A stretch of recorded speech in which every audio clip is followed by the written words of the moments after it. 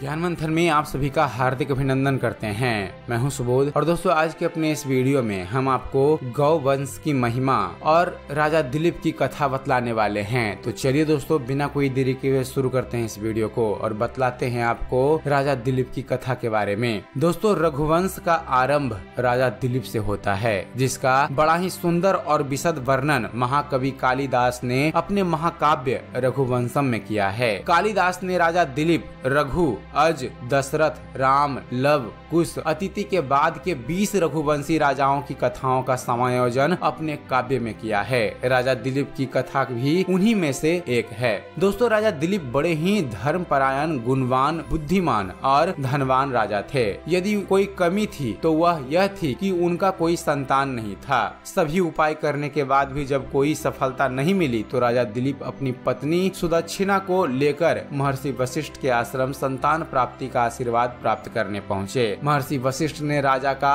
अतिथि सत्कार किया और आने का प्रयोजन पूछा। तो राजा दिलीप ने अपने निसंतान होने की बात महर्षि वशिष्ठ से बताई। तब महर्षि वशिष्ठ बोले, हे राजन, तुमसे एक अपराध हुआ है, इसलिए तुम्हारी अभी तक कोई संतान नहीं हुई है। तब राजा दिलीप ने आश्चर्य से पूछा, गुरुदेव, मुझसे ऐसा कौन सा अपराध हुआ है कि मैं अब तक निसंतान हूँ? कृपा करके मुझे बताइए। महर्षि वशिष्ठ बोले, हे राजन, एक बार की बात है, जब तुम देवताओं की एक युद्ध में सहायता करके लौट रहे थे। तब रास्ते में एक विशाल वट वृक्ष के नीचे देवताओं को भोग और मोक्ष देने वाली कामधेनु विश्राम कर रही थी और उनकी सहचरी गौ माताएँ निकट ही चर रही थी। तुम्हारा अपराध यह है कि तुमने शीघ्रता बस अपना विमान रोककर उन्हें प्रणाम नहीं किया, जबकि राजन, यदि रास्ते में कहीं भी गौ वंश दिखाई दे तो दाई ओर होकर राह देते हुए उन्हें प्रणाम करना चाहिए। यह बात तुम्हें गुरुजनों द्वारा पूर्व काल में ही बताई जा चुकी थी। लेकिन फिर भी तुमने गौ वंश का अपमान और गुरु आज्ञा का उल्लंघन किया है। इसलिए राजन, तुम्हारे घर अभी तक कोई संतान नहीं हुई है। महर्षि वशिष्ठ की बात सुनकर राजा दिलीप बड़े दुखी हुए। आँखों में अश्रु लेकर और विनम्रता पूर्वक हाथ जोड़कर राजा दिलीप गुरु वशिष्ठ से प्रार्थना करने लगे। गुरुदेव, मैं मानता हूँ कि मुझसे अपराध हुआ है, किंतु अब इसका कोई और तो उपाय होगा ही। तब महर्षि वशिष्ठ बोले, एक उपाय है राजन। ये है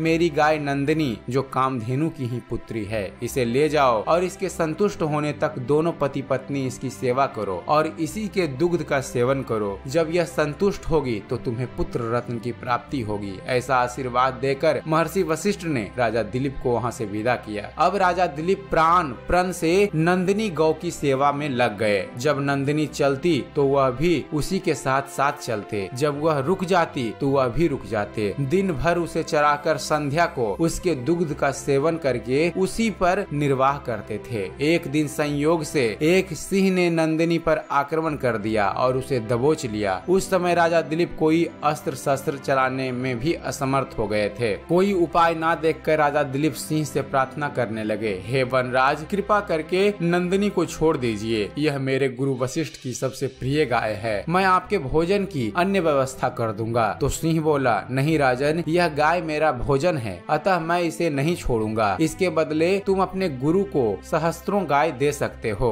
बिल्कुल निर्बल होते हुए राजा दिलीप बोले, हे वनराज, आप इसके बदले मुझे खा लो, लेकिन मेरे गुरु की गाय नंदिनी को छोड़ दो। तब सिंह बोला, यदि तुम्हें प्राणों का मोह नहीं तो इसके बदले स्वयं को प्रस्तुत करो, मैं इसे अभी छोड़ दूँगा। कोई उपाय न देखकर राजा दिलीप ने सिंह का प्रस्ताव स्वीकार कर लिया और स्वयं सिंह का आहार बनने के लिए तैयार हो गए। सिंह ने नंदिनी गाय को छोड़ दिया और राजा को खाने के लिए उसकी ओर झपटा, लेकिन तत्क्षण हवा में गायब हो गया। तब नंदिनी गाय बोली, उठो राजन, यह माया जाल। मैंने ही आपकी परीक्षा लेने के लिए रचा था। जाओ राजन, तुम दोनों दंपति ने मेरे दुग्ध का निर्वाह किया है। अतः तुम्हें एक गुणवान, बलवान और बुद्धिमान पुत्र की प्राप्ति होगी। इतना कहकर नंदिनी अंतर ध्यान हो गई। उसके कुछ ही दिन बाद नंदिनी के आशीर्वाद से महारानी सुदक्षिणा ने एक पुत्र को जन्म दिया और वह आगे जाकर रघु के नाम से विख्यात हुआ। उसके पराक्रम के कारण ही इस वंश को रघु वंश के नाम से जाना जाता है। महाकवि कालिदास ने भी इसी रघु के नाम पर अपने महाकाव्य का नाम रघुवंशम रखा। दोस्तों, इस कहानी से हमें शिक्षा मिलता है कि यदि कोई बांझ स्त्री भी